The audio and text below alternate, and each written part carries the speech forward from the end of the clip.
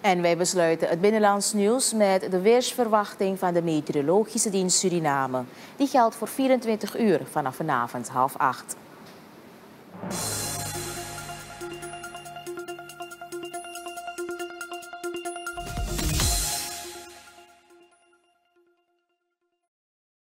In de avond en nacht worden lichte tot matige buien verwacht, die plaatselijk zwaarder kunnen zijn en mogelijk gepaard gaan met onweer en lokale windstoten.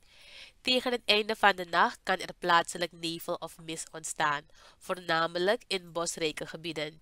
In de middag en vroege avond zullen er langs de kust en in het binnenland matige tot plaatselijke zware buien voorkomen, mogelijk gepaard met onweer en lokale windstoten.